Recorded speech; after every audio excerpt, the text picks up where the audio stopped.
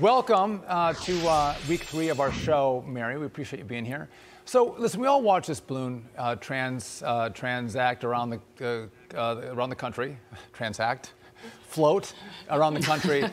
but it seems like that's emblematic for so much more that's been happening over the decades with China and the U.S. Talk to us about it.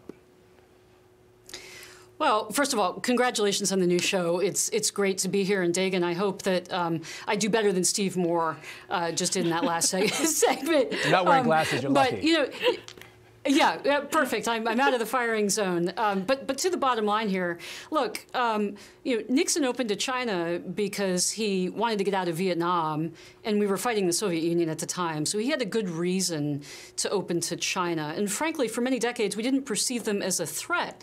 Um, you look at photographs from the 80s when they're you know riding around in bicycles in their Mao suits.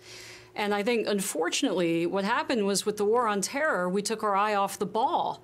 And as China's economic power grew and they started to, to develop all of these capabilities and to do all the things that you just laid out there, Dagen. um, we really weren't paying attention. And it wasn't until the last administration that we woke up and the American people woke up and the world woke up to the threat that this poses. But Sean, uh, you know, this balloon casually floating over the continental United States, I think that's a turning point because Americans don't generally feel threatened in our homeland, mm -hmm. right? We've got two oceans, we've got friendly neighbors. Yeah, we, you know, we had the threat of nuclear war at the Soviet Union, but that, that wasn't something tangible. You couldn't look up in the sky and see it.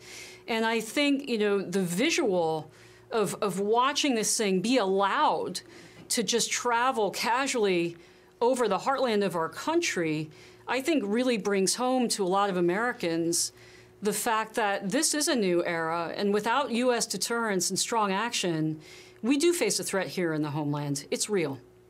And, and Mary, I, I, was talking about how I grew up, but it was really and the, the jobs disappeared overseas. And so people where I, in my hometown, traded a great uh, middle class life for cheap crap made in China that they could put in their yard and low paying jobs at Walmart. But it really it became dangerous, as you said, starting in 2001 when China entered the World Trade Organization, the WTO, and we we never fought back as they cheated and cheated and cheated and stole and stole intellectual property as corporations entered China, and we had very low inflation because of the, all of the goods we were importing from China, and companies were getting rich at, by moving production to China and we got cheap iPhones and the like. But then there was the, the thievery, but also the increasing espionage and the goal changed, particularly under Xi Jinping. And you were pointing out just the, in terms of spying, China was targeting the Federal Reserve over a decade to build an informant network and access data. We found this out last year because of the Republicans. And where was the outrage then? Everybody should be quaking in their boots because of that. Well, I mean, we're in a very complicated situation now, Dagen, because you're right. We've tied our economy to basically to an enemy.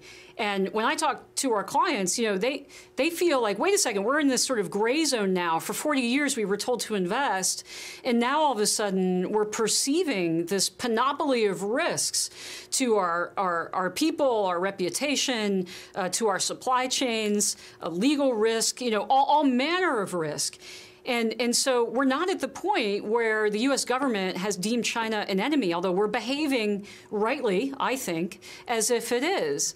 And so you see both the Trump and the Biden administrations took actions that are kind of edging us there when it's obvious what we're facing. I mean, look at look at the actions on semiconductors, right? So we cut off uh, the ability for Huawei to access really high-end chips. The Biden administration expanded that, and they said you can't send manufacturing equipment that allows Huawei to make chips. Why? Because we're treating it like it's a piece of military equipment, which it is because it's being used right. for military purposes to build their AI, to build their big data uh, capabilities. I mean, if you to really understand the threat from China, you know, my, my fear is that we're, we're just focusing on you know these discrete little things. They're not little, right? But it's easy for politicians to talk about things like TikTok. Okay, it's going to be a really easy thing to ban them.